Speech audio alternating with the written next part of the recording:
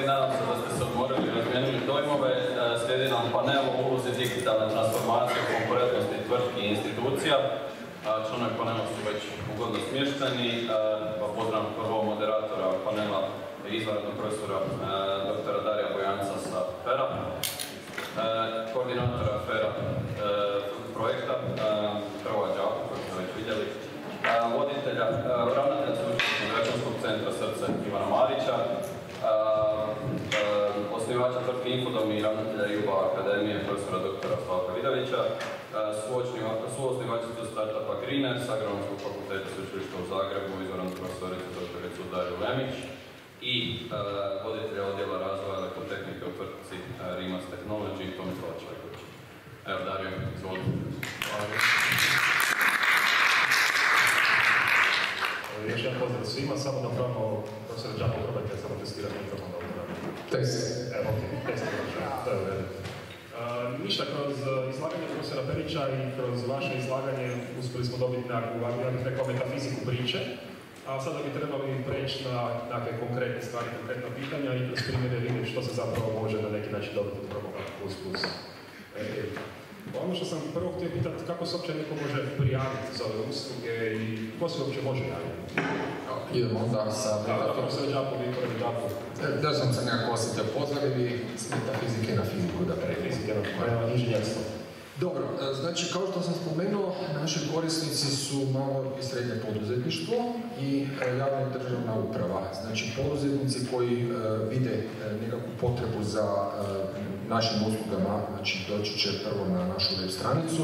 Web stranica je u izradi uvijek, tako da bit će aktivna sljedeći tjedan. E, tamo će biti detaljno opisane sve te usluge koje nudimo, znači ne ovako na jednom abstraktnom nivou kao četiri kategorije. I e, ako neko prepozna onda unutar tih usluga da vidi nešto za sebe, može se javiti doslovno na naš mail i dobiti više informacija. E, kako bude projekt prolazio, mi ćemo isto tako e, raditi unapređenje tog cijelog procesa. Znači na početku će to sigurno biti ono direktni kontakt preko maila, e, zatim u jednom trenutku ćemo napraviti formular gdje će se neko moći prijaviti sa osnovnim informacijama, a nakon što nam se jave, naravno dobit će detaljnije informacije što nekakve dokumentacije treba ispuniti da budu e, prihvatljivi sa gledišta dodjele državnih potpora i slično. E, Jedan način je znači da nam se javite direktno preko maila, drugi način jasno da nas pratite na društvenim mrežama, da gledate koji se događaji organiziraju, jer bit će puno tih networking događaja gdje će biti diseminirane razne konkretne informacije, ne znam, sve e, generički i generalno, ali bit će nekakvi ciljani događaj, tako da će tamo biti više informacija kako se nešto možete uključiti. Imamo također i onu uslugu koju sam spominjao concierge. Dakle, to je jedna usluga gdje zaista ako vidite kao nekakvu priliku da se e, kroz ovaj projekt vam može pomoći, ali ne znate, ne razumijete točno što bi za vas bilo dobro, onda se doslovno možete javiti da vas uzmemo, napravimo razgovor s vama, snimimo vašu situaciju i kažemo gle, ta, ta i ta usluga kod ovog ili onog partnera su za vas. Znači, postoji nekoliko načina kako vi to možete ući i uvijek ćete zapravo biti toplo dočekani i zapravo usmjereni na ispravnu adresu. Znači, zapravo naglasak je pratite naše društvene mreže, ponekad rekao bih LinkedIn, Facebook i naravno internet stranicu, kao što ste rekli, na kojoj će moći sve, sve biti viđeno. Uh, dobro, a tko su prihvatljivi korisnici opće usluga? Da, kao što sam spomenuo, prihvatljivi korisnici su nam e, malo i srednje poduzetništvo e, i e, ti korisnici, za njih su usluge u potpunosti besplatne i javna i državna uprava. Ono ko nam nije po pravilima projekta prihvatljiv nisu fizičke osobe, obrti, nažalost, evo, mi bi rado da i zapravo te entitete možemo na neki način servisirati, ali nismo u mogućnosti. Ako je naravno u pitanju neka veća kompanija, ne mogu dobiti, to naravno moramo istražiti detalje e, na koji način i takvim kompanijama možemo pomoći. Oni sasvim sigurno nisu naša primarna skupina koja u potpunosti može dobiti subvencionirane usluge, ali s obzirom da EDIH kao takav zapravo je gra- izgradnja jednog novog načina suradnje između istraživačke, akademske, profesionalne zajednice sa svima koji trebaju usluge digitalizacije, mi sasvim sigurno možemo povezati i te druge i velike koji nisu naši primarni korisnici sa odgovarajućim ekspertima koji nam. Znači, kažem, u tom slučaju sigurno neće dobiti subvencioniranu uslugu kao mali kojima to najviše treba, ali da će vrata su nam otvorena, samo neka nam se rade.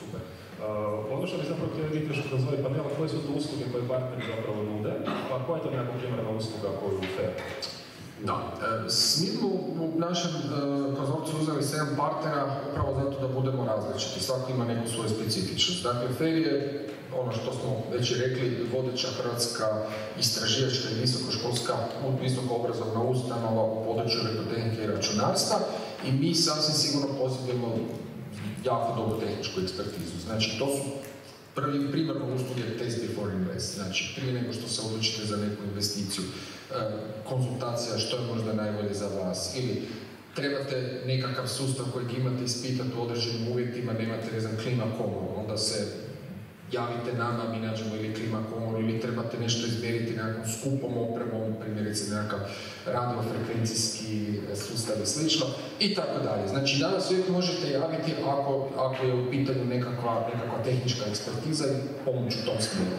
S druge strane, ono što nam se već neke kompanije javljaju kroz recimo drugačiju, drugačiju vrstu projekata, imamo naravno već neke s kojima surađujemo, tako da nam se oni jave da uđemo u neke zajedničke kolaboracijske projekte kako bismo oplemenili njihove proizvode. Primjerice imate nekakvu, nekakvog proizvođača obuće ne? i onda vi hoćete to ugraditi nekakvu senzoriku tako da ta obuća bude drugačija, jedinstvena, konkurentnija na svjetskom tržištu, onda naravno nije nužno da nas javljate samo kroz edih, ali vi možda niti ne znate da na feru postoji tehnologija koja vama može pomoći, a mi na feru ne znamo da to nekome treba. Ne? I zapravo do sada je način kako se do tog mečinga dolazi bio prilično slučajan. Ne? Ono, neko neko poznaje, neko neko nešto kaže na nekakvom piću, e sad bi to mi trebali napraviti na strukturirani način. Upravo da se postigne to bolje umrežavanje i taj networking efekt zapravo to će onda cijelu zapravo, kad bi rekao, priču oko podizanja općenito razine digitalne zrelosti i naših poduzeća imati na sasvim jednu drugi nivo. Da, mislim, to mi se čini nekako kao i, ja bih rekao, najveći problem uopće da neko zna za to, a i da mi znamo za njega.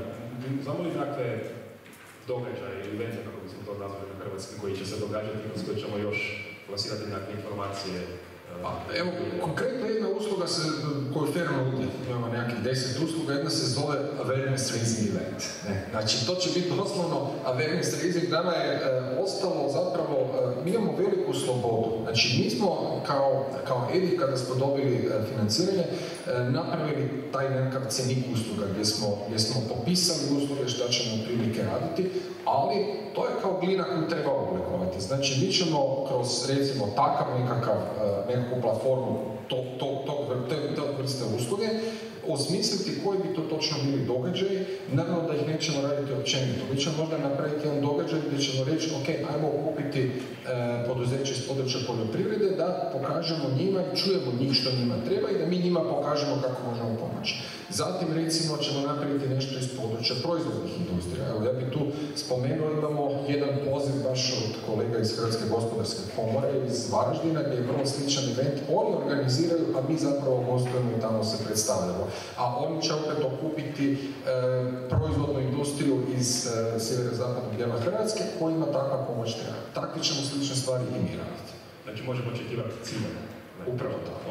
Super, hvala profesor Gospodine Marić, ravnatelj srca, je s nama, baš smo sad u pauzi malo razgovarali o novom, novom super računaru zapravo koje, koje je pokrenuto, super, onda Vrančić. Ovaj, koje su to zapravo nekakve usluge u računarstvu visokih performansi, to smo mogli čuti u početnom predavanju da je zapravo jednako bitno, a stalno se govori samo o inteligenciji. Kao prvo pričali smo o godišnjim odmorima, da sam se malo dotakli i tih digitalnih tehnologija. Ništa lijepi pozdrav svima da Srce partner, ponosni partner Kroboha Plus Plus. Vjerojatno ste svi upoznati dakle, sa ustanovom koja već 53 godine doslovno radi digitalnu transformaciju sustava znanosti i visokog obrazovanja u Republici Hrvatskoj i mogu reći bez lažne skromnosti, dakle da imamo više desetljetno iskustvo u pružanju sofisticiranog kataloga usluga za, za akademsku i znanstvenu zajednicu u Republici Hrvatskoj. Taj naš katalog usluga nas svrstava u konzorcijskog partnera pod navodnicima servis provajdera. Dakle, srce ima dugogodišnje iskustvo u pružanju usluga jednoj zajednici, no kao što smo vidjeli dakle, iz izlaganja uvodnih, digital single market ili jedinstveno digitalno tržište Europe koji je cilj koji je dugoročno postavljen od strane Europe pa se onda spušten na zemlje članice je pred nama, to prije svega znači da, da i znanstvena zajednica treba otvoriti javnom sektoru i gospodarstvu. U tom smislu, dakle, mi smo 2002. godine uspostavom računalnog klastera Izabela, prvog javnog eh, HPC resursa u, u, u akademskoj zajednici, započeli pružanjem, odnosno profiliranjem jednog dijela poslovanja srca u području naprednog računarstva i već 21 godinu dakle, imamo iskustvo pružanju naprednih računalnih usluga. To iskustvo sada pretačemo u, ili isporučujemo u, zajednicu i to u javni sektor i malo i srednje gospodarstvo. HPC ne, ne treba puno pričati o njemu, dakle već je sve rečeno, to je nova perspektiva, novi element koji se pojavio i u digitalnom komplasu, ali i u mapi čip povezani sa digitalnim transformacijama, digitalizacijom, dakle bez snažnih računala, bez značajnih računalnih kapaciteta danas nije moguće živjeti u digitalnoj ekonomiji, a živimo u digitalnoj ekonomiji u kojoj big data, snažna računala osiguravaju tehnologije umjetne inteligencije, modeliranje, simuliranje, digital twinsove i tako dalje. Kao što sam rekao, srce pruža usluge naprednog računanja, međutim srce je prije pet godina, moram spomenuti, pokrenuo i projekt izgradnje Hrvatskog znanstvenog i obrazovnog oblaka, gdje je jedna značajna komponenta upravo napredni računalni resursi koja je kombinirala prije par mjeseci puštanje u pogon najvećih super računala u Hrvatskoj e, pod nazivom SUPEK. E, međutim, nije SUPEK jedini, dakle, pored super računalnih resursa, imamo napredne računalne resurse, HTC resurse, e, koji smo nazvali Frančić, tako da je taj portfelj resursa koji omogućavaju napredno računanje opet ponavljam za akademsku i znanstvenu zajednicu za potrebe istraživanja završen kroz projekt HRZO, a ta aktivnost je bila komplementarna sa početkom aktivnosti 2017. kad se Hrvatska priključila EuroHPC inicijativi. Kao što znate, Hrvatska je članica EuroHPC-a, 2019. godine u sklopu tog Horizon 2020, odnosno Horizon Europe sada projekta, sudjelujemo u uspostavi nacionalnih centara kompetencije za HPC. Tako da je srce sa konzorcijskim partnerima u sklopu nacionalnog centra kompetencije za HPC i ono što sad radimo u Edihu jako komplementarno, a prvenstveni je cilj dakle približavanje i upoznavanje korisničkih zajednica sa primjenom HPC. To smo do sada radili u sklopu znanstvene akademske zajednice, a sada ćemo to raditi sa malim srednjim e, gospodarstvima, sa, sa javnim e, sektorom.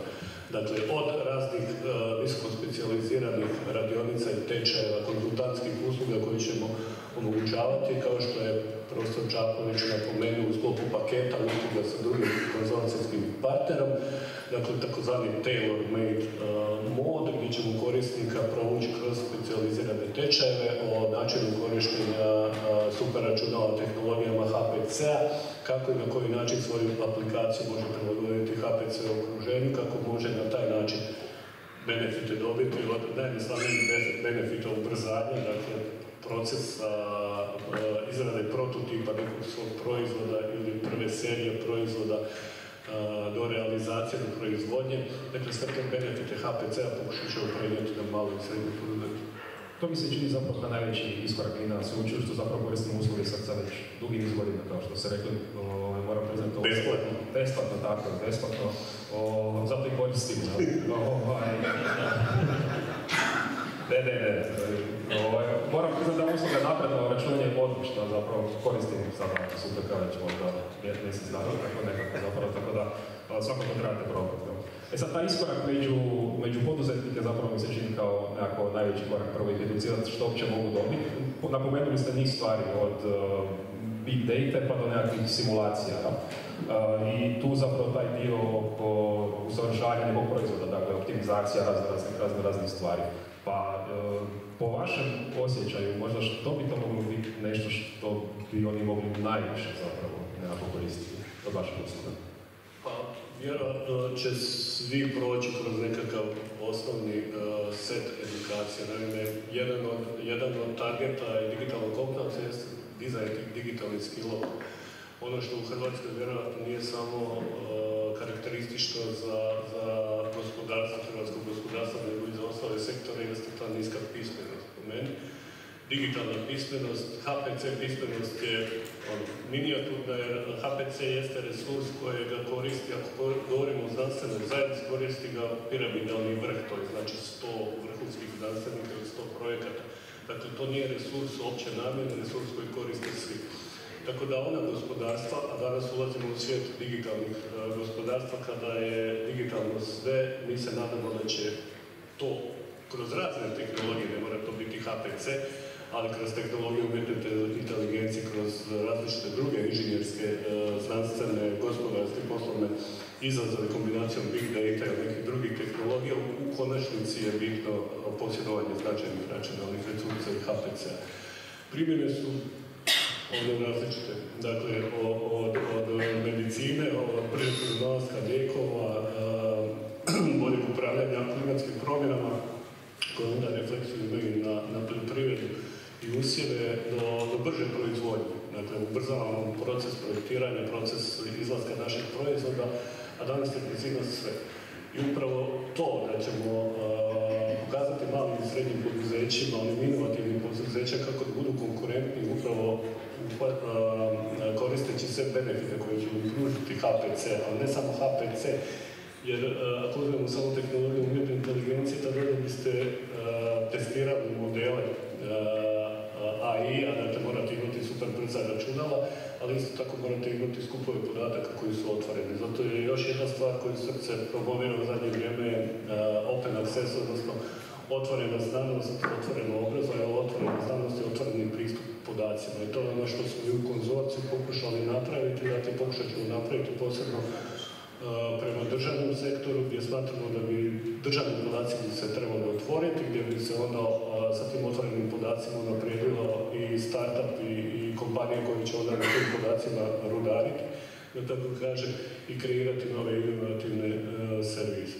U svakom slučaju, dakle, konzorci djeluje kao, kao, kao, jedna, kao jedna pipa, a, čim dođe na, na na front-endu korisnik, u jednom trenutku će doći u ruke srca i to u dijelu u kojem se uh, od nas očekuje da radimo edukaciju i poznavanje sa HPC tehnologijom. Super, ta edukacija mi se čini zapravo jako bitna, mislim da bi nama na sveučilištu dobro došlo ponekad. Htio sam vas samo još pitati, spomenuli ste pod pauzom jednu zanimljivu stvar, a to je obično kad se koriste takve računalne resursi, bar je tako bilo prije, u principu čovjek koristio nekakve besplatne stvari. Što se tiče komercijalnog softvera, recimo mala, malo poduzeće vjerojatno ako će koristiti nešto, koristit će nešto tog tipa. Možda li tako nešto završiti kod vas?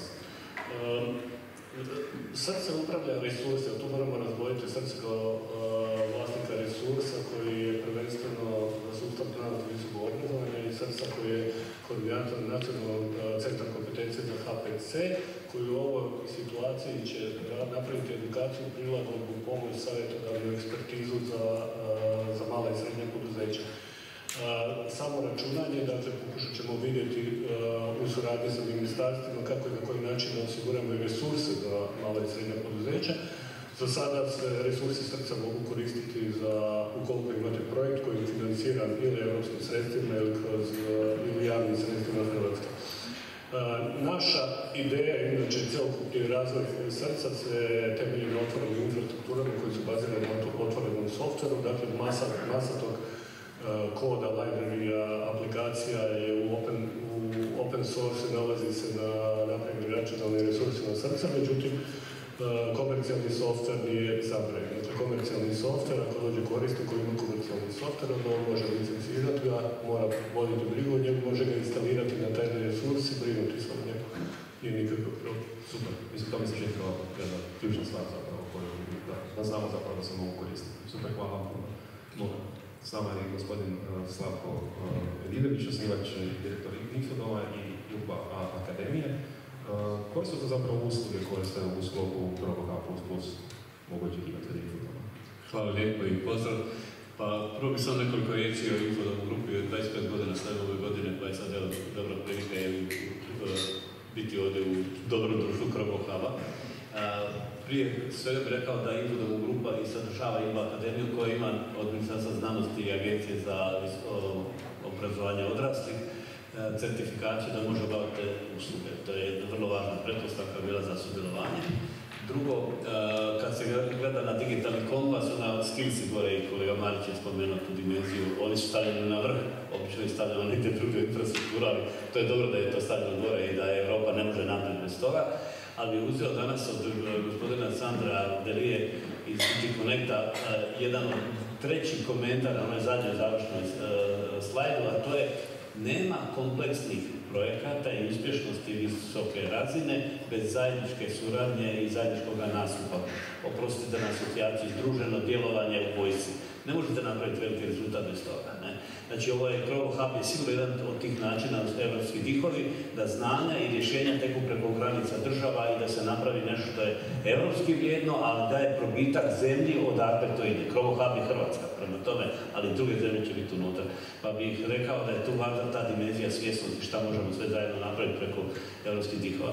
I treća stvar koju je spomenuo u vezi infodoma, to je mi sudjelujemo u projektu 3% ali vjerujemo da ćemo dati jedan od najvažnijih obola u ovome kromohabu. Evo, ja dajem riječ ovdje svima u dvorani, to ćete vidjeti na kraju. A zašto? Zato što radimo sa digitalnim platformama koje imaju sposobnost razvoja i testiranja spremnosti. Mi smo sad recimo razvijen sustav za ministarstvo pomorstva za strane pomorce, za Hrvate pomorce na stranim brodovima. 27.000 Hrvata radi na stranim brodovima koji moraju imati te sustave testiranja da to može automatski raditi i tako dalje. Tako da sam uzmem kao primjer jedne takve platforme. I treće što bih rekao, to je uh, Infodom je sudjelovao u najvažnijim europskim inicijativama do sada koje su bile bitne za ulazak Hrvatske u EU, pa ću nekad ih spomenuti, to je bilo rad u e, odboru koji je radio Europsku strategiju interoperabilnosti koja je završila sa EIF-u okvirom za interoperabilnost. Drugo je bilo elektroničke javne nabavke koje su izuzetno osjetljive platforme koje mi imamo u više država i treća dimenzija je bila elektronički račun. No, međutim, ono što ima veze s ovim projektom Krobo Hubom i koji malo je negdje sakriveno, a to je kolega Marić ovaj, upozorio, a to je korištenje gotovih javnim novcem financiranih podataka otvorenih podataka, jer je podatkovna infrastruktura postala ključ za ono što zove digitalna suverenitet i mi radimo u okviru Fibera to je, to je platforma i ekosustav evropski gdje možemo preko određenih tehnika i gotovih rješenja i jako važno je smart data modela omogućiti da protok znanja vezan za upravo takve modele bude onda značajan način suradnje i certifikacije. Kad bi govorili još o tome šta mi u okviru želimo napraviti u okviru ovoga zadatka, ili tako napraviti, jer ovo je sve zajedno kompleksni e, projekt sa setom usluga koje su rečene. E, prva razina je dakle ta razina razvoja sposobnosti pojedinca da može biti član tima koji ima neku stratešku kompetenciju i koji onda napraviti neki vrhunski rezultat. Nego bude iskorištavanje big data HPC računalima kod Marića. Ali to je to ne možete napraviti na srcu, pardon, ispričao se Dakle, to ne možete napraviti tako da imate jedan, dva pojedinca. Vi ne možete napraviti to da imate jedan, dva pojedinca. Morate imati tim koji je kompletan, on je kompleksan po znanju, mora biti testiran, mora biti istreniran i kad ga pustite u pogon, on mora raditi koji mašina, ne zato što je to organizacija ljudi. Doslovce kad ga pustite, kao da su ovdje ljudi spremni raditi to. I to je najveći zahtjev danas u digitalnoj transformaciji. Najveće zahtjev spremnost timova. Pojedince imate, ali timove, to je glavni zadatak. E, druga dimenzija koju bih asocirao je digitalna spremnost i rad svoj posebno nečega što zove poslovna agilnost. Danas dvije riječi koje cijeli svijet spominje su future readiness, spremnost za budućnost. Zbog toga radi o digitalnoj transformaciji ali druga reč je otpornost od, od kibernetičke sigurnosti nadalje. U oba slučaja glavni engine je adaptibilnost, sposobnost adaptacije na promjene, a adaptibilnost je srce business agility, odnosno poslovna. Pa onda i naša je jedna metoda proizvodnja poslovne agilnosti organizacijskih subjekata. Evo, opet, ne bi, ne bi sad išao dalje kroz ove dimenzije, ima još dva lajera gore. Slobodno, slobodno, da ovaj, mi imamo dovoljno vremena zapravo. Ja nisam mogao vjerovati da je profesor Đakov je tako brzo gotov, tako da... Ovaj, da li, mogu, mogu, onda sad se mi daju priliku. Profesor Đakov jučer, je bila proslava, da tako nazovem, predstavljanje nukleosa u Hub 385. Jedno pitanje, najvažnije pitanje za startupe nije na panelu odgovoreno. Uh, jedan kolega se digao, ne znam, i pitao je kako da mi iz IT-a, uglavnom smo doleli bili ferovci, pristupimo firmama koji su non-IT firme i level tih firmi. Diskutiralo se, odgovor nije napravljen ozbiljno. Pa ću sad iskoristiti ovu priliku, to je recimo jedna od naših razina. Svijet je izdao treću verziju najvažnijih standarda za IT, zove se IT for IT. Open Group je izdao, to je prošla godina september, odnosno rujan, i on ima ogroman potencijal jer zamjenjuje upravljanje razvojem proizvoda koje inače PLM, Product Lifecycle Management, kod drugih vrsta proizvoda.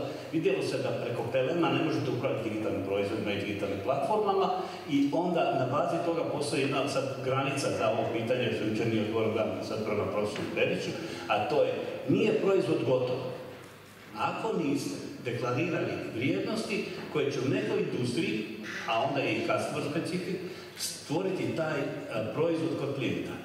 Ako ste se digli na tu razinu i završili proizvod na toj razini, onda upravo taj value proposition, takozvani, je sredstvo komunikacije kod non-IT firmi, non-IT industrija i.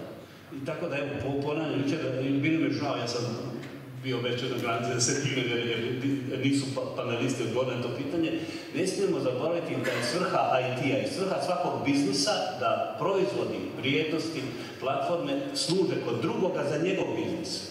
I ako to sve zajedno razjasnimo, onda ćemo imati dobru komunikaciju. Pa, mislim, to upravo je naša uloga, ovo što ste rekli. Kad, pogledate timove, većini timova zapravo čemu služi inženjer.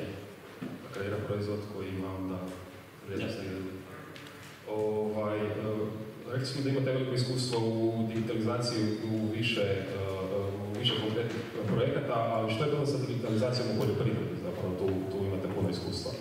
Možete li nekako podijeliti s nama? Može, ja prethodno sam jedan sam malo pomak fokusa. E, prehrambeno poljoprivredni sektor prehrambeno. Zašto prehrambeno? Zato što ovaj dio koji je poljoprivreda ima drugačije ipak fokuse i tehnologije u odnosu na prehrambeni dio, pa onda ću reći, evo, e, jedno od područja je centar kompetencije. Mi smo prvi u Hrvatskoj e, zatvorili projekt izgradnje centra kompetencija za digitalnu transformaciju u prehrambenoj industriji. I tamo smo primijenili jedan od projekata je Big Data na HPC računalima za potrebe e, praćenja i predikcije kretanja bolesti da biste mogli predicirati. Vidite, čuli ste šta što se događa sa afričkom svičkom kugom u Hrvatskoj, da je zlo krenulo. Kolega Leo Mrš je ovdje s nama, kolega Tome, kolega Boris, svi su mi dio toga tima. Mi smo uspjeli profesionalno, ono, sportski rečeno napraviti vrhunsku digitalnu platformu Big Data na HPC-ima, predikcija kretanja bolesti i sprečavanje normalno da mira. To je, to je jedan od projekata. A, posebno važan, meni drag projekt je, kolega Boris ga je vodio, je projekt za zdravstveni turizam ja osobno vjerujem da je Hrvatska i podneblje gdje mi živimo i ambijent koji imamo, da smo zaduženi planetarno, a ne samo evropski, zaista ovo podneblje i hranu i sve ostalo staviti u ime riječi zdravo i, i green, health i tako dalje, da bismo preko toga mogli davati vrijednosti ne samo za hrvatske Hrvate, nego i Hrvate, hrvatske građane, ali za cijeli svijet. Pa bih samo iskoristio to, to, to naglasiti. I u projektu broj 1 i 2, sam još dva projekta spomenuti iz te dimenzije, u projektu broj 1 je upravo korištenje otvorenih podataka u Smart Agri baš za poljoprivredu, zato što velika količina podataka, ja ću reći od GIS layera pa sve do Kopernikusa satelita ili u dimenziji otvorenih podataka koje država ima ili javnih podataka koje ima Europa za sve zemlje, da ih stavite u funkciju nekoga gospodarstvenika, pazite kakvog gospodarstvenika, OPG, Imate i staračkih domaćinstava gdje imate po dva, tri zaposlena. To je strašna, strašna je to, ajmo reći, redukcija kompleksnosti koju morate imati da bi njemu predstavili vrijednosti, a s druge strane kompleksnost se neće smanjiti ako želite napraviti vrhunski rezultate. Pa recimo je to. Ja sam osobno vodio jednu, jednu platformu za mrežu konsultanata za adaptibilnost, Znači kako reagirati na nepredviđene događaje. Vi u poljoprivredi, prehrambenom sektoru imali ste ovdje gospodina koji je vodio upravo za stručnu podršku iz Ministarstva poljoprivrede. Oni to imaju fantastično razrađeno. Ne bi vjerao koliko je to zrela struka. Mi kad kažemo poljoprivredu, pa prekam, pa nešto u glavi vrtimo onako nešto jednostavno. Ne, ne, oni to zaista vrhunski rade. Ali ako imate problem koji se zove iznenadni, neočekivani, nepredviđeni događaji, onda znamo uvesti jedno pravilo. Toga nema u softveru. Ono što je nepredviđeno, unexpected events, ne mora u softveru. Onda reagiraju ljudi. I onda moraju reagirati ljudi timovi i onda moraju djelovati mreže konzultanata i onda mora postati ta adaptibilnost i agilnost. Evo, tako da smo razvili platformu za djelovanje mreža konzultanata, ali samo za te slučaje dogodilo se prilika ili zlo, šta god. To mi zvuče kao super iskustva. Kako to ugraditi u je, isti je problem, samo isto polje djelovanja. Da li, da li će Crobo Hub industrije, odnosno područja i djelatnosti koje će on pokrije biti neograničene, što je moguće, da nam, nas neće na Crobo Hub gledati profesor Periću, ne zanimati koja je to industrija, smart agri, smart food, smart energy, smart healthcare, smart traffic, sve jedno je. Genetika, radi genetika. Hvala. S nama je profesorica Darija Lemić sa Agronomskog fakulteta i osnivačica startupa uh, Greener. Uh, vi ste prošli kroz skok zapravo. Ovaj, možete neka iskustva podijeliti s nama s obzirom da je riječ o onome što zovemo Tech Startup? Evo, dobar dan svima. Zahvaljujem se na pozivu i prije nego što odgovorim na pitanje, evo, dotakli smo se poljoprivrede, pa bih htjela samo dvije rečenice reći o poljoprivredi kao disciplini. Vidim da svi ovdje imamo super pametne telefone, pametne satove, svi smo došli sa nekakvim vozilima. Na kraju dana bez svega toga možemo, bez hrane, bez zdravstveno ispravne hrane ne možemo. Znači svi ćemo jesti jednom, dva put, tri put, netko i više puta, svi volimo popit voćni sok, popit ćemo čašu vina, nadam se poslije ovoga. Za sve to su nam zaslužni poljoprivredni proizvođači i poljoprivreda koja je kao grana proizvodnje u Hrvatskoj evropskim odnosima na vrlo niskoj razini i vrlo nekonkurentna. Tako da svi projekti e, koji idu u tom smjeru poboljšavanja, modernizacije, e, poljoprivrede, poljoprivrednih proizvođača i različitih dionika u proizvodnji hrane i preradi hrane su svakako nešto što ja pozdravljam i vrlo rado ću sudjelovati e, i. Što se tiče mene, evo hvala na pozivu, došla sam kao predstavnik agronomskog fakulteta i startupa drugog po redu e, koji je proizašao sa agronomskog fakulteta, zove se Greener. Stari smo jednu godinu, a nastali smo od ideje koja je krenula kao jedno istraživanje e, na fakultetu. U sklopu predmeta sa studentima ta ideja se razvijala i na e-mail adresu je došao poziv od FERA, od SPOKA da se pridružimo u njihov inkubator, da sudjelujemo u edukaciji e, i da naučimo nešto više o poduzetništvu. Evo, javili smo se tako da svakako ne mogu reći da bi i Greener i cijela ta svijest i znanje koje smo stekli u zadnjih godinu dana postojalo bez sfera e, i smatram da vrlo je, vrlo je bilo teško po, po, pomiriti tehničke i biotehničke znanosti i vrlo teško se ponekad razumijemo, ali evo, osim na, na tom projektu, na razvoju startupa imala sam priliku još uvijek sudjelujem na projektu sa profesorima Safera i evo, teško nam je, teško se razumijemo, ali uz sinergiju, uz nekakvo obostrano dobro raspoloženje i vjeru u tu modernizaciju poljoprivrede, vjerujem da smo napravili veliki iskorak unaprijed. Ono što svakako, evo i, spomenuli ste, što smo mi imali problem u Greeneru i kod samog kretanja u taj svijet startupa i poduzetništva, je bio manjak znanja o tehnologijama. Znači ono čim se Greener bavi, to je moderna tehnologija u suzbijanju štetnika, odnosno zaštite e, biljne proizvodnje od različitih štetnika koji ih napadaju. E, mi razvijemo tehnologiju, tehnologija bez e, nekakvih e, modernih stvari, umjetne inteligencije, sve ovo što ste tu spominjali nije moguće.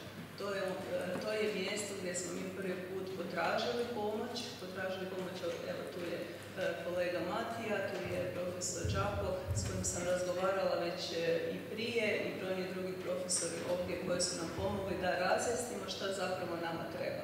Jer mi znamo šta je naš cilj, cilj nam je proizvesti hranu sa što manje pesticida u sukladnosti sa zakonima Europske unije, sa zelenim europskim planom, Način na kojima možemo doći do toga jest jedino povezivanje poljoprivredne proizvodnje, novih ideja i modernih tehnologija.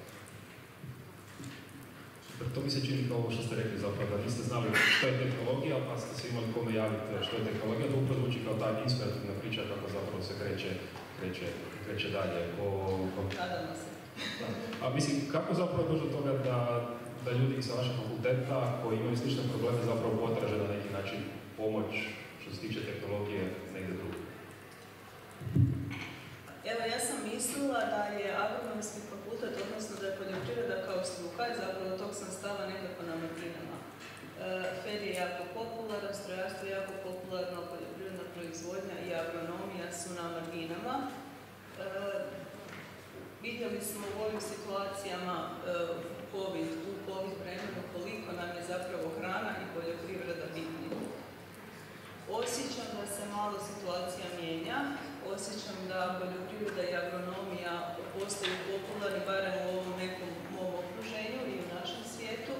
Sigurno da poboljšanje komunikacije i intenziviranje ovakvih i panela i događaja će pridonijeti tome da se više ljudi poljoprivrednog i prehrambenog sektora upravo odluči na suradnju i na korištenje usluga ovog projekta. Evo, svakako da ga podržavam i nadam se da će i biti u prilici nekakvu dalje suradnju. Spomenuli ste, kazali ste telefon, pametni sat, ne znam, auto, auto ćemo malo kasnije, tako da, ovaj, ali, ali tu je riječ zapravo nekim modernim tehnologijama kao što je inteligencija, senzor, sustavi, IoT. Uh, koji je nekakav potencijal za korištenje toga u, u, u poljoprivredi i kako nekako zapravo mali koji kreću u tomu što, što da vam bude i kroz Evo, znači, znači, vjerojatno ste svi čuli za Green Deal, to je Europski zeleni plan kojim Europska unija e, dosta ambiciozno pristupa smanjenju e, sredstava za zaštitu bilja i umjetnih gnojiva evo, u idućih par godina, znači to su brojke od 50%. E, da bi se to moglo, znači e, proizvodnja, poljoprivredna proizvodnja kao takva je vrlo osjetljiva na napad štetnika i bez zaštite te poljoprivredne proizvodnje neće biti.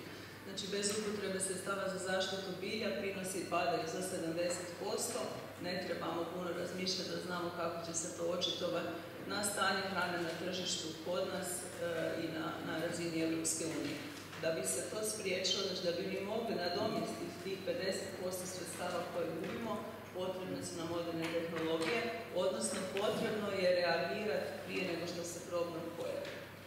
Za to nam je potrebna nekakva precizna poljoprivreda, e, tehnologije koje mogu predvidjeti, koje mogu detektirati problem prije nego što on pričini štetu na polju. Evo, ja tu vidim ulogu e, ovakvih projekata i ovakvih inicijativa u poljoprivredi, ne samo u našem startupu, nego generalno. I mislim da je to put kojim treba ovaj projekt pristupiti poljoprivrednim proizvođačima. Znači, podaci i tehnologija kao predviđanje na neki način prevencije. Gospodin nešto dodati slobodno. Ja mislim da je ovo super primjer gdje možemo pokazati dvije stvari. Prva stvar, Hrvati su imali prije 15 godina prvu, ja mislim, svjetski inovativnu kompaniju u područja. Dakle, koja je to realizirala već na svoj internetu A druga stvar je, dakle, ovo područje područje koje je interdisciplinarno. Mi smo radili kroz regionalno klimatsko modeliranje sa državnim tehnološkim zavodom i ministarstvom, odnosno fondom. I, i napravila se mapa 30 godišnja mapa projekcije klimatskog mapa u Hrvatskoj koji je direktan korisnik toga su bili naravno poljoprivrednici, odnosno poljoprivreda Hrvatska i definitivno big data, odnosno otvoreni podaci, otvorenost podataka u kombinaciji sa jakim računalnim resursima omogućuju posebno u grani poljoprivredno se cijelom lifestyle sektoru. Dakle, da, da pronalaze nove proizvode, zdravije proizvode, da uz pomoć ovih predikcija koje je kolegica spomenula, dakle, da možemo spriječiti i ove sve suše i ostalo. To da možemo djelovati preventivno na nekog postup. Samo da napomenem nešto zato što, što, se tiče čaše vina, nisam siguran, ovaj, na fakultetu zapravo se to prevenira, tako da... A vi Dobro. Onda može mi se. Hvala. A, to za... Uh, Jazmina, kako se zove ovo? Dekane, dekane. Jazmina je naše pokusno područje. Pokusno područje. Proizvodi plina na navijencu. Evo, probat ćemo. Hvala. I s nama je gospodin Tomislav Čleković, odjela razvoja arhitektike u Rimas Technologies. Vi kao kompanija niste primarni korisnik zapravo usluga nekako, ali manje više sve te usluge koristite, pa na neki način sigurno ako neko može nešto reći o tome koja je uloga umjetne inteligencije i visokih performansi u razvoju proizvoda ste zapravo vi. Pa koja su to neka iskustva koja podijeliti? Pa prvo hvala na pozivu. Da, mogu iz perspektive Rimac grupe reći da su visoke tehnologije definitivno nešto čemu se mi bavimo. Malo mi je nezahvalno sad govoriti s obzirom da smo mi firma koja ima R&D in-house. Mi smo ti koji zapravo vidimo tu tehnologiju, imamo ljude koji razumiju tu tehnologiju to je ono što smo pričali o ovom gapu između industrije koja nema R&D tradicionalno sa sobom i kako povezati te stvari.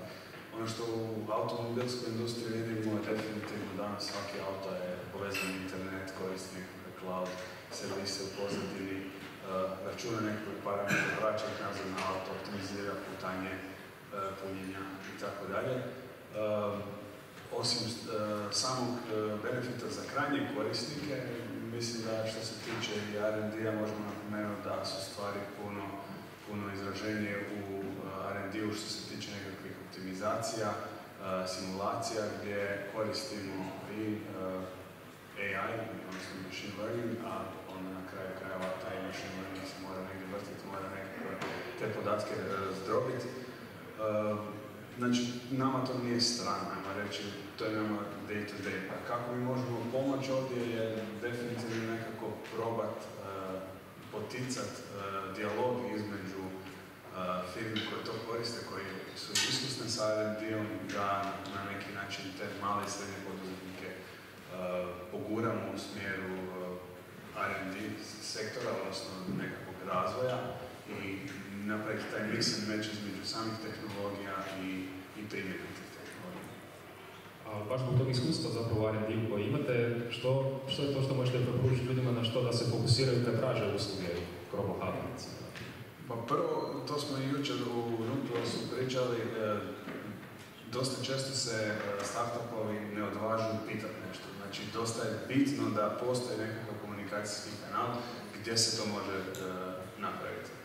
On baš je bio komentar da li je neko bio spreman pitati CEO-a, CTO-a nekakve uspješne firme u bilo kojem segmentu koji su dalji koraci, kako mogu doći do financiranja, da li je bolje koristiti ovu ili onu tehnologiju, da li uopće ta tehnologija postoji. Evo, iz te perspektive suradnjom sa fakultetom i iz perspektive imati automobila, mislim da možemo biti definitivno savjetodavno tijelo nekako koje može usmjeriti poduzetnike u ovom imenu smjeru same. Mislim, tu iskustvo svakako imate. Ako pogledamo s druge strane, zapravo da se stavite u kožu možda korisnika, što je to zapravo što bi možda očekivali od Crow na neki način da ispunje neke vaše potrebe? Pa od Crow bi e, s jedne strane e, očekivao da potiče čak i firme koje jesu u R&D-u da razvijaju e, rješenja koja će omogućiti poduzetništvu koje nije R&D primjenu tehnologija. Ne znam, svi pričaju o AI-u, AI bio do nedavno, ja bih rekao, enigma velikom dijelu svijeta, dok se možda nije pojavio ovaj ChatGPT koji je svakome na svijetu omogućio da ono, dođeš pa pričati nešto, pa vidiš da stvarno ti to može nekako pomoći. više nije e, taj AI negdje daleko, negdje e, sadržan samo za nekakvu elitu ljudi koja zna pričati sa računom, nego je bliže na krajnjem korisniku koji eto dođe i priča nekakvim mm. jezikom mm. sa tim e, to bi se upravo to i ime čini možda malo preteško kad kažem umjetna inteligencija, onda s druge strane neka konkretna primjena zapravo. Da koristimo malo nekše termine, možda bi zapravo lakše razumjeli kako to, kako to zapravo. Da, znači, znači s jedne strane razvoj e, rješenja koja su pristupačni krajnjem korisniku, znači orijentirana više R&D firme, dok iz perspektive uh, industrije koja nema svoje R&D, koje može biti bilo koja, uh, definitivno osnaži te kanale uh, prema tehnologiji.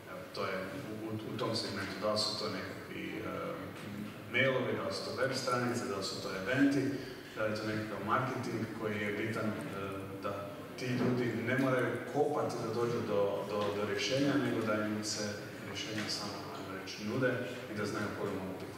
To je super, zato je i marketing, kao što ste rekli, zato su upravo to. E, Denis se ustao, vidim da smo zapravo na 40 minuta, ali mislim da bi trebali pustiti jedno ili dva pitanja iz publike ako zapravo ima da se iskoristi, iskoriste panelisti, pa ispričavam se Denis samo ako ima iz publike e, neko pitanje za naše paneliste, e, osim profesora Perića. Profesor Perić on je. Izgleda da svi gledaju ima glavu. E, ništa, e, hvala još jednom svim, svim panelistima i kao što je profesorica Lemić rekla kasnije tamo dole, a profesor Tek što Hvala.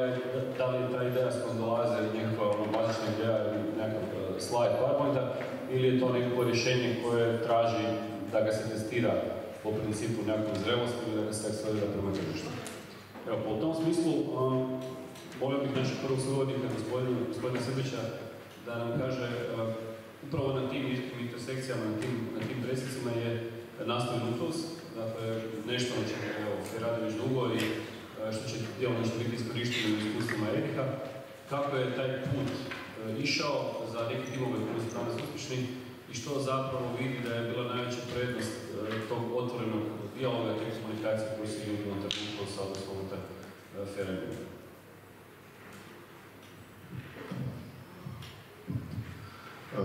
Dobar dan svima. Pa da, evo, kako se rekao, to je proces, nešto što traje neko vrijeme. Znači, evo mi radimo, evo tu je i kolegica e, Darija sa prošlog panela koja je bila dio spoka koja je e, neki prethodnik nukleusa kakvog imamo danas, ali od početka je naša ideja bila povezivanje, dakle ekosustav, to je bila neka riječ koja se koja je bila neka nit vodilja i iako smo krenuli inicijalno SPOK kao studentsko poduzetništvo e, centra karijera FERA i inicijalno smo davali podršku dominantno studentima FERA, vidjeli smo da postoji možda neiskorišten i najveći potencijal upravo na tim granicama između samih fakulteta, a onda postepeno smo to evoluirali i u suradnje samo e, od fakulteta sa fakultetima i prema industriji, prema startup uh, ekosustavu.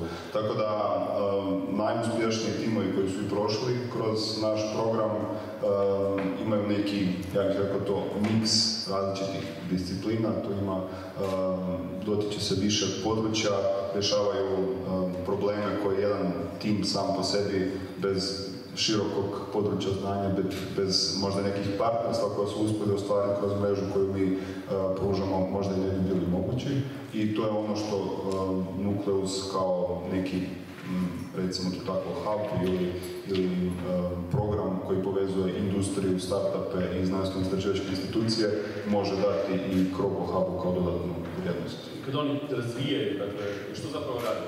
Mišljaju, eksperimentiraju, što se sad dešava u tom procesu? Pa mislim da smo, da smo mi kao, ako pričamo o tome deep techu što je trenutno buzzword i ako pričamo o komercijalizaciji rezultata znanstvenih istraživanja, mislim da je naš taj ekosustav još u samim začecima, odnosno mi smo tu još u fazi izgradnje načina razmišljanja, mindseta, razumijevanja nekih stvari, gdje mi s jedne strane moramo naše istraživače i znanstvenike educirati o tome da je i startup svijet nešto za njih, da i za njih se nude različiti modeli financiranja, ne samo kroz EU projekte, nego dođu u jednu zreliju fazu, da su tu investicijski fondovi, da tu imaju puno drugačijih prilika, da ti investitori traže timove poput njih upravo, koji imaju duboko specifično znanje u nekom području, ali da je njima, ako oni sami nisu spremni se razvijati u području poslovnog razvoja, što možda neki ljudi čak i ne žele i ne zanima, možda neki nisu dobri jer smo onako u duši dalje inženjeri, onda trebaju naći osobu koja će se e, time baviti. Tako da s te strane educiramo znanstvenu istraživačku instituciju, ali e, i sa druge strane educiramo industriju i educiramo naše korporativne partnere kako da surađuju sa startupima, kako da i oni budu malo agilni, malo dinamični i koji su tu sve prostori uopće i opcije za suradnju. Da, ovo mi se sviđa, kao je otvorni razvoj da se zapravo mijenja institucija kroz taj prostor. E sad, e, ovdje je bilo već do sada nekoliko domena informatičke industrije, domena inovacije, e, pa možda ja spadam ovako među starije, rekao bi da prije 25 godina ta projekta se bila pojavila, da je e, istraživanje i razvoj zapravo značilo ako stavite kompanija da potpišete ugovor sa nekim klijentom o zajedničkom razvoju. Vi ste davali neku ekspertizu, odnosno IT partner dao ekspertizu za informatiku, u tom trenutku tehnologija koje su bile dostupne, a klijent je zapravo davao neku ekspertizu iz područja u kojem je on bio dobar i to se smatralo R&D, znači zajedno su razvijali rješenje. Nažalost, nema puno rješenja u starih 25 godina koje su e, sa takvim pristupom bilo uspješno, niti su doživjelo danas nekakav remake pa da žive i danas. I sad, u tom smislu, R&D prije 25 godina, ili ono što smo time smatrali, R&D danas, nema boljih sugovornika od gospodina Česića koji je zapravo nekako bio na obe strane. Što za nas znači R&D, što to znači za vas i da li vi razvijate rješenja koje onda u nekom zaokruženom obliku dajete klijentu ili još uvijek taj feedback klijenta može dati neki doprinos? Koliko je zapravo teško funkcionirati e, između ta dva svijeta? Pa prvo hvala na pozivu. R&D ono, sastoji se od dvije strane, jedno je istraživanje, drugo je razvoj. mislim da Danas je jako, sve teže i teže graditi proizvode koji uh, se isključivo zasnimaju na nekakvoj razvojnoj komponenti, da nemaju u sebi komponentu istraživanja. Uh, ako gledamo samo recimo 10-15 godina ranije, nekakva prilika za realizaciju proizvoda je bila rezervirana za neke snažne hubove, recimo Silicijska dolina. Danas, prvo, pristup informacijama je puno, puno bolji u cijelom svijetu. Pristup kapitalu je danas puno bolji u ostatku svijeta nego što je bio nekad prije. Jel? Nekad prije privilegirana okruženja su bila Silicijska dolina, London, Berlin, znači neki tehnološki hubovi.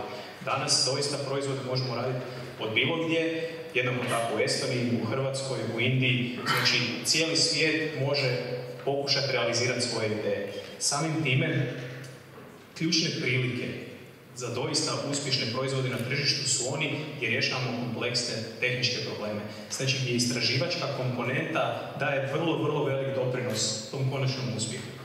Gideon je jedna priča u kojoj gradimo autonomne mobilne robote i s njima rješavamo neke specifične tehničke probleme. Jedan veliki problem danas u industriji je recimo utovar i istovar kamionskih prikolica. Znači radi se o jednom ogromnom, nevjerojatno velikom tržištu koje je danas nerješeno. Znači danas se kamioni utovaraju i istoraju isključivo manualno. radi se o tržištu veličine desetaka milijardi dolara. e sad, da bi riješili taj problem, to nije pitanje ideje. Danas svi vide taj problem, jel? E sad, nije se niko probudio preko noći i rekao, e, imam ideju, idem riješiti problem utovara i istovara kamionskih prikolica, jel? Problem je što je potrebno jako puno inovacija, jako puno malih inovacija da bismo taj problem riješili. Dakle, ovdje se govori o jednoj o, vertikalnoj integraciji.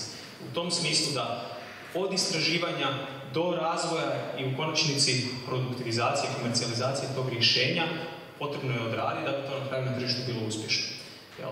Mislim da je e, pojam R&D-a u velikoj mjeri ono, zadnjih godina se sve više demistificira i, i ljudi su više razumiju da je doista za nekakav, za uspjeh proizvoda na tržištu, konačnog proizvoda na tržištu potrebno odraditi nekakve zbilja istraživačke aktivnosti. E sad, da li to znači da ćemo mi apsolutno prvi dan znati sve sami, jako, jako dobro, savršeno dobro identificirati šta je to naš krajnji proizvod, kako izgleda profesor Slavko je prije spomenuo pitanje value propositiona.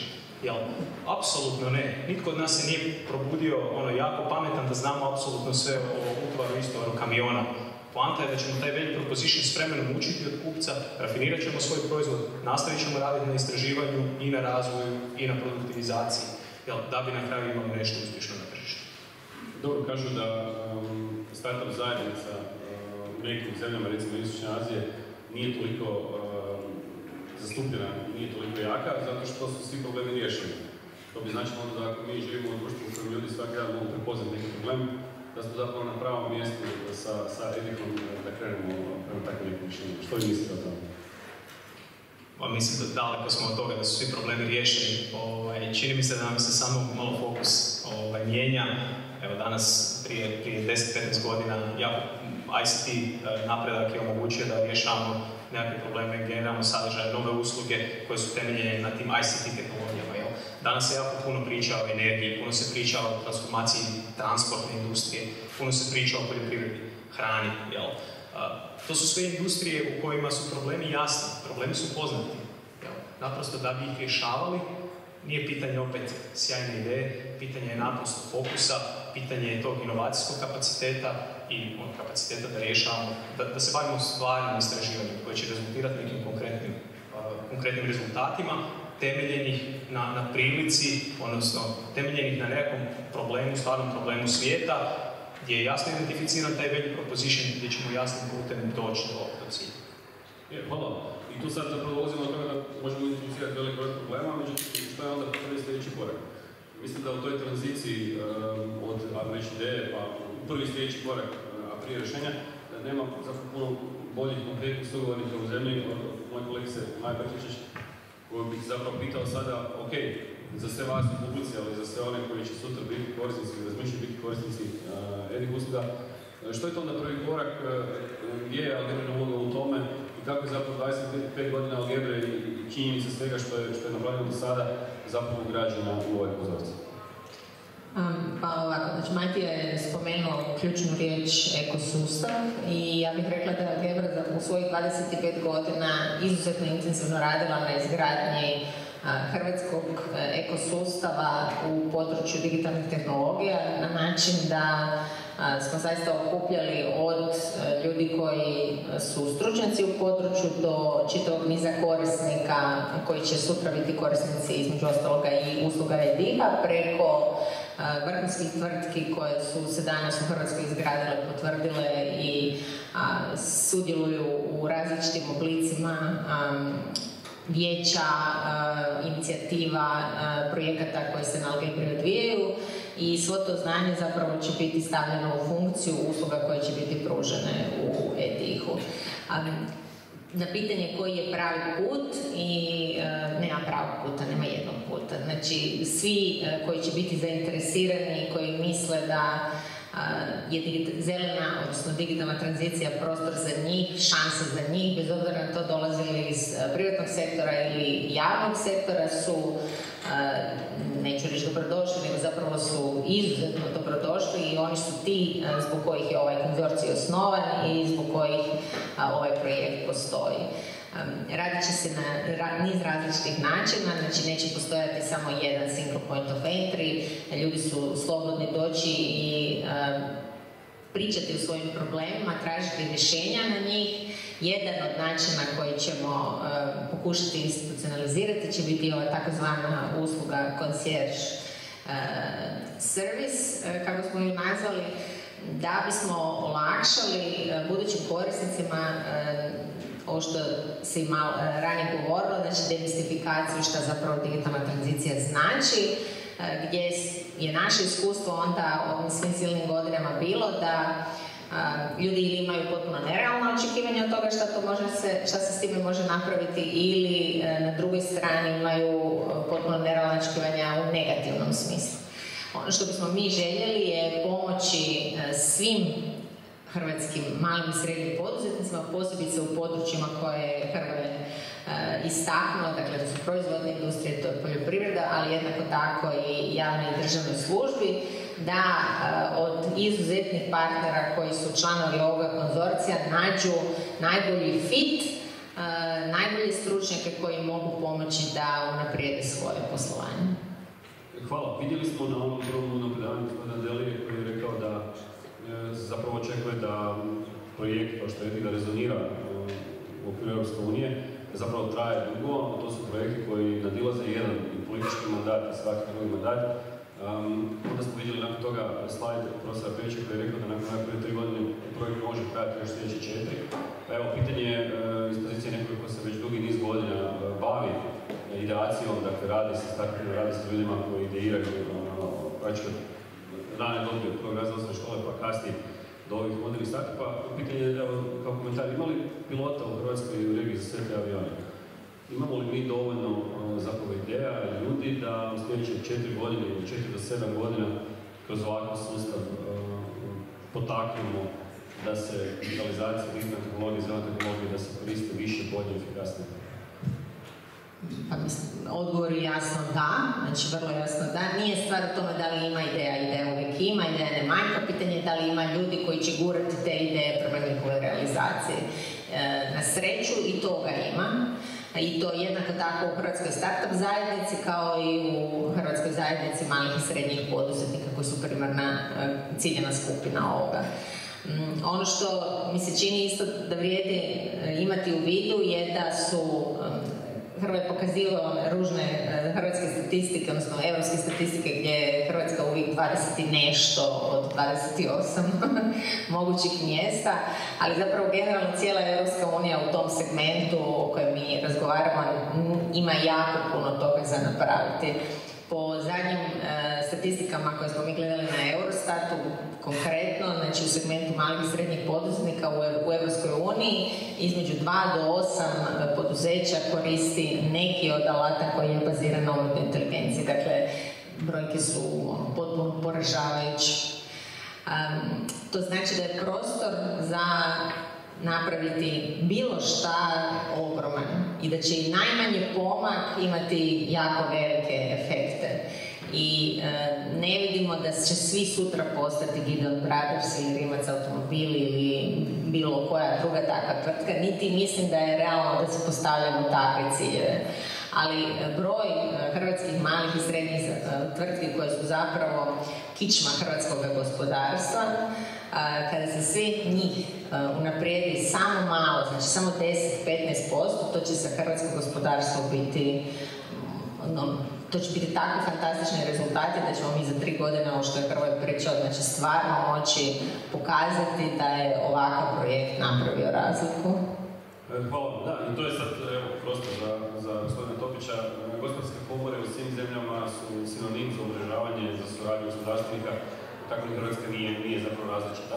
Koliko od, od, sa strane kompanija, koliko zapravo imate interes za digitalizaciju? Je li, je li ovaj e, projekt, kad je, kad je krenuo i zapravo sa malo početnog PR-a, je on polučio neke rezultate, da li ljudi koji sad možda pitaju za, za neke mogućnosti i kako se zapravo e, e, kao neka nadgradnja, kako vam se čini s obzirom na sve ono što je komora sada napravila i digitalnu komoru i sve ostale stvari koje ste radili vezano za ESG, ono, jako ste aktivni u tome.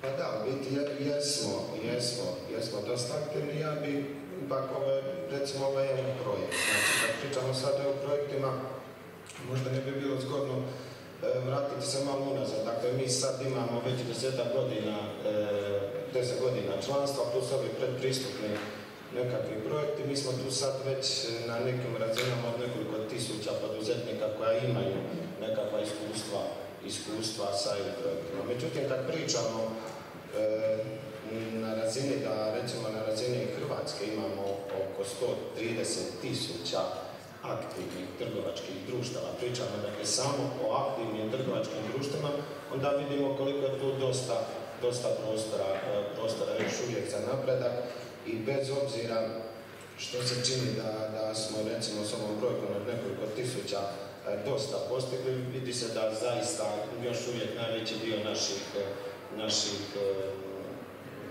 poduzetnika niti ne zna šta su, šta su, šta su e, Ovdje mi, Hrvatska gospodarska komora, ipak krovna institucija za sve poduzetnike. Mi ovdje moramo sad naglasak dati na MSP, znači ne, na sve, nego ipak na priču koja se tiče malih i srednjih poduzetnika, a njihova priča malo drugačija. Dakle, ne možemo njima pristupiti iz pozicije evo sveučilišta ili nekakvog ministarstva ili ako hoćete neke velike institucije, nego treba iz njihove perspektive, a njihova perspektiva u principu da im više manje e, nedostaje e, kapaciteta.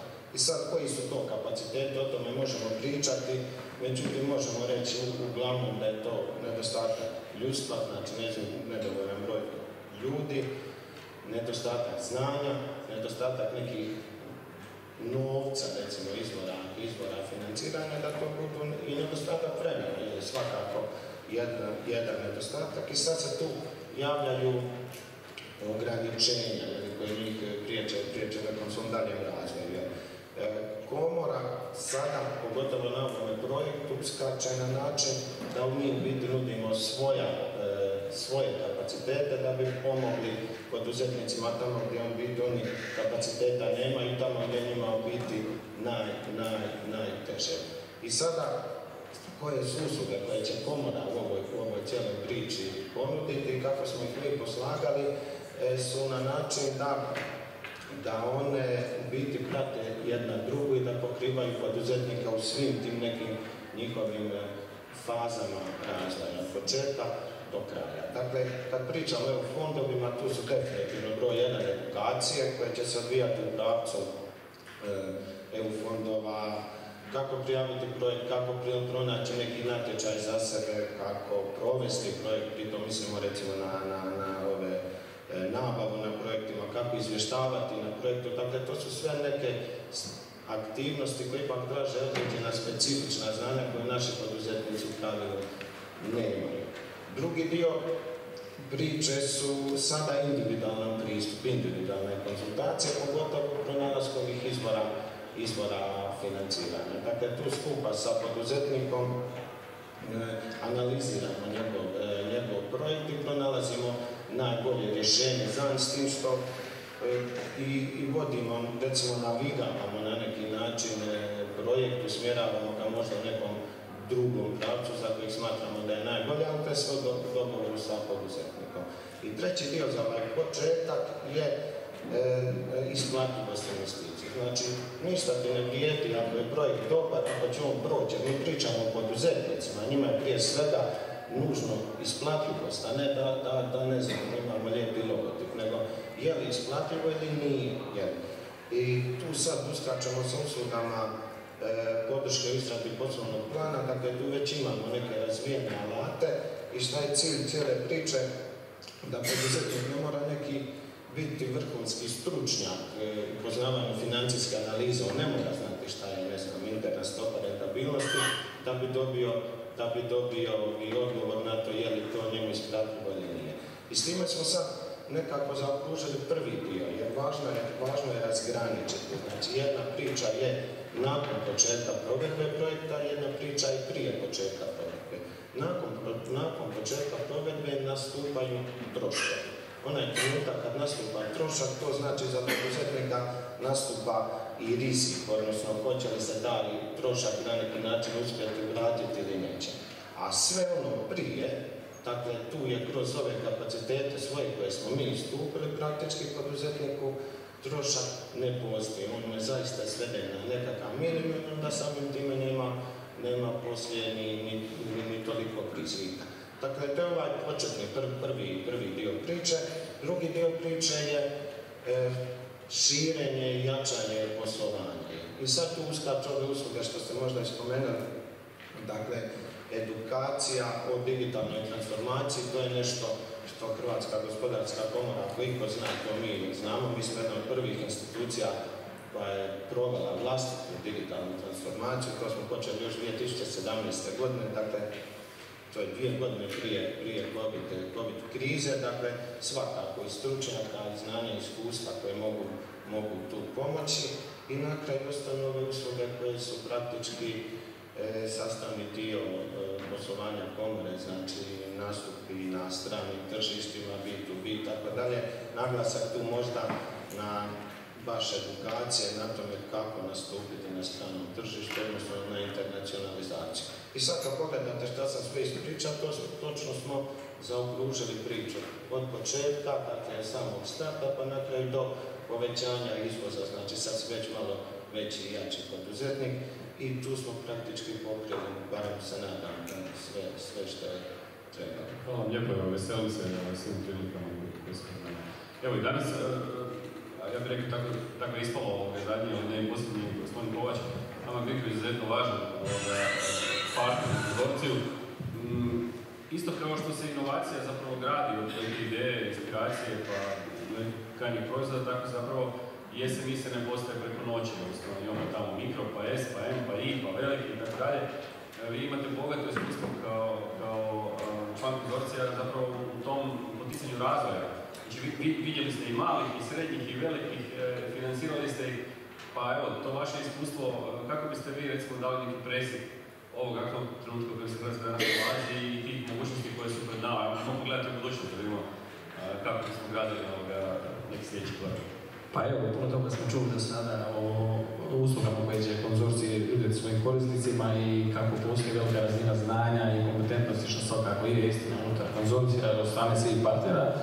Međutim, ono što je bitno za naglasiti da uvijek je zadnja stvar jasna, zadnji govornik i to je uvijek najvažnija stvar na kraju su izvori financiranja. Kad, kad govorimo o izvori financiranja, nikada nisu bile veće mogućnosti za hrvatske male i srednje poduzetnike po, po tom pitanju. Znači, osim redovitih sredstava koje dobijamo kroz uh, operativne programe koje postoje u Hrvatskoj i kroz stari OPKK koji je sad došao u svom kraju, uh, nakon korone imali smo jeli, situaciju da iz jedne nesreće dođe prilika i mogućnost za sve druge, za sve druge poduzetnike tako što smo uh, dobili sredstva iz nacionalnog plana oporavka i opornosti. Tako da smo tu proveli jako puno već do sada i planiramo još provesti jako puno poziva kao posredničko tijelo, dakle ministarstvo naše resorno nadležno za ogovaranje, dok Hamar Bikro kao središnja agencija za malo i srednje poduzetništvo radi vrednovanje svih tih projekata i kasnije prati njihovu provedbu. Od raznih poziva do komercijalizacije inovacija, do poticanja osnivanja novih poduzeća, pa do e, potpora za zeleno i digitalno resursno gospodarstvo koje su bile, tako da još jednom ponavljam, postoji uistinu velik broj mogućnosti za financiranje, osim sredstava iz NPO-a, sljedeće godine možemo očekivati početak e, korištenja sredstava iz nove financijske omotnice za novo razdoblje 2021-2027. Dakle, sredstva koja su u prošloj perspektivi postojala, sada će se praktički e, uduplati. Znači, mogućnosti za financiranje poduzetničkih e, projekata su stvarno nikada veće i i nadam se da i kroz ovaj, kroz, ovaj u biti dobiti jednu e, priliku da do nas kao tijelo koje ocjenjuje te prijave dođu zreli projekti koji će proći kroz sve usluge koji će nadograditi svoje prijave, koji će raditi na onim detaljima možda zbog kojih ne dođu do financiranja, nego da će kroz evo stvarno uistinu veliku razinu kompetencija koja postoji unutar e, konzorcija, da će do nas doći oni projekti koji su zreli, spremni za financiranje, na takav način ćemo i mi kroz naše usluge koje ćemo nuditi kroz ovaj krog e, tu prvenstveno mislim na uslugu internacionalizacije, jer mi pokušavamo i osim ovih e, osim ovih detalja vezanih izvore financiranja, potaknuti dodatno i razvoj nekakvih soft usluga kao središnja agencija. Na tom tragu razvili smo i bond mrežu, to je mreža koja i vi ste također kao što znate član, ovaj mreža koja okuplja poduzetničke potporne institucije razne raznih pravnog oblika, od lokalnih razvojnih agencija do regionalnih, županijskih i svaka od njih unutar sebe ima različite kapacitete, ali evo željeli smo na taj način neki na jednom mjestu okupiti sve te institucije, da zajedno s njima radimo na razvoju tih lokalnih, kapaciteta, tako da biti poduzetnik e, u svakoj sredini gdje se nalazi, može se javiti nekoj kompetentnoj osobi koja može pomoći u razvoju njegovog poslovnog plana, procjeni digitalne zrelosti, još sve što je kolega već e, ranije naveo, tako da je tu jedna doza komplementarnosti naših usluga sa, sa komorom. Tako da, evo, kažem, prilika nikad više nije bilo. Evo, pa ako možemo još za kraj stvarno taknuti, ona možda nije toliko tako zanimljiva na prvi pogled e, šira populacija, ali je izuzetno važna. Znači, sposobnost da te inovacije na kraju završe negdje, da one žive, e, je jednim dijelom i na kapacitetu javne uprave ne samo da regulacijom znači, pomogne na same dese, nego zapravo da ih akceptira kao korisnika. E sad, jedan dio, tako izazova je u tome da i te javne institucije mogu i sa ljudima i sa resursima, pa konačnici sa financiranjem projekta, ali možda je važno sa odabirom onih koji su zreli, sa selekcijom, sa prepoznavanjem onih koji su zreli, pogotovo u situaciji digitalna tehnologija jako brzo napreduje. Ja sad ne poznam se ljudi u dvorani, vidim smo učenje na pamet, na pamet izazov koje, koje grad sigurno ima. E, kako vidite tu isto mogućnost, e, s obzirom da jedan od, e, jedno od područja kojima će se baviti je ta podrška javne upravi. Ima li tu prostora? Pa svakako ima prostora i baš na tragu ovo što sam spomenuo malo prevezano uz bond mrežu. Većina sastavnica i članica bond mreže su upravo predstavnici raznih javnih oblika u Hrvatskoj, od općinske razine do županijske razine institucija. Mi njih svakako planiramo uključiti kroz set usluga koje ćemo mi e, pružiti kroz projekt, jer ono što je svakako činjenica je da, pored strukturnih fondova kojima sam sad pričao, kojima su već ljudi dosta upoznati s njima i znaju da postoje takve mogućnosti financiranja, postoje i međunarodni izvori e, financiranja za R&D projekte koji u Hrvatskoj možemo reći možda još nisu dovoljno poduzetnici osvješteni u njihovom postojanju i mogućnostima koje nude. Tako da s te strane imamo i, i Europsko inovacijsko vijeće, e, programi kao što su i Reka i Eurostar, svi ti programi skupa e, mogu dodatno pridonijeti, možemo tako reći, daljnjoj integraciji e, naših startupa koji su visoko tehnološki, koji imaju velik stupanj inovacija u nekakve veće gospodarske, gospodarske tijekove. Tu su još dodatni izmjeri financiranja koje planiramo dodatno promovirati kroz, e, kroz aktivnosti koje ćemo mi raditi u projektu kako bi na neki način još dodatno osvijestili širu javnost, ali osobito poduzetnika i što ste spomenuli javne dionike o postojanju tih e, sredstava financiranja. Evo, hvala. E, ja bih sada evo, prvo zahvalio panelistima na odazivu i na lijepoj diskusiji.